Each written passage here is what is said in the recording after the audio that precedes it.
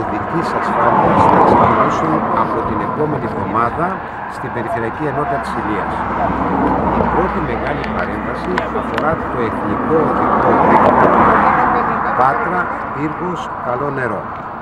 Είναι παρεμβάσεις αναγκαίες, η Περιφέρεια ε, προετοίμασε και διασφάλισε τους πόρους, έπαιξε γρήγορα τις διαδικασίες, έτσι ώστε να μπορούμε να ελπίζουμε ή να, να το πω θα είναι πραγματικότητα την επόμενη εβδομάδα αυτό συμφωνήσαμε εδώ με τους αντιπεριφερειάρχες, τον κύριο Αλεξόπουλο, τον κύριο Γεωργιόπουλο, τον κύριο Μήτρα αλλά και με την ανάδοχο εταιρεία να ξεκινήσει την επόμενη Τετάρτη η πρώτη μεγάλη παρέμβαση οδικής ασφάλειας στο εθνικό δίκτυο.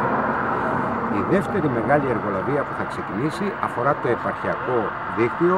Υπέγραψα την ε, σύμβαση με την ανάδοχο εταιρεία και αφορά το περιφερειακό δίκτυο στα γεωγραφικά όρια των ε, Δήμων ε, Ανδρίτσενας, Ζαχάρος και Αρχαίας Ολυμπίας.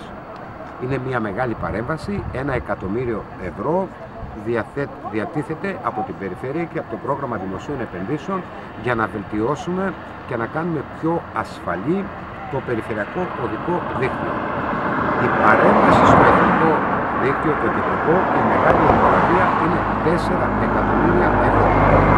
Σε πολύ δύσκολες εποχές, όπου τα χρήματα στη χώρα μας είναι περιορισμένα, εμείς ως Περιφέρεια καταφέραμε να διασφαλίσουμε αυτό το σημαντικό χρηματικό ποσό για να ξεκινήσουμε μια μεγάλη παρέμβαση οδικής ασφάλειας.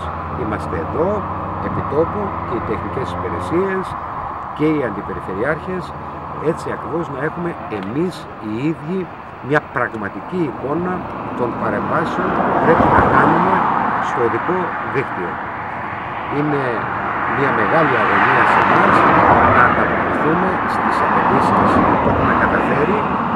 Ε, μέχρι τώρα θα εντείνουμε περαιτέρω τις προσπάθειές μας έτσι ακριβώς να δώσουμε μια οδική αρτηρία ανεξάρτητα βέβαια από την Ολυμπία Οδό η οποία ο παλιός εθνικός δρόμος θα παραμείνει, θα είναι λειτουργικός άρα εμείς θέλουμε να τον συντηρήσουμε, να τον βελτιώσουμε και να είναι ασφαλής στον χρήστη.